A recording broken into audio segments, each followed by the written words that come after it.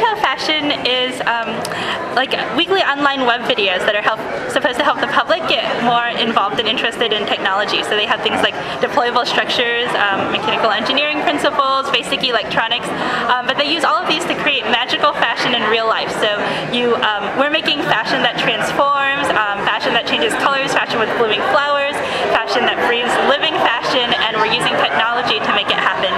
We have weekly web videos to introduce a new technology and then we ask the viewers to send us ideas for how these can be used in fashion.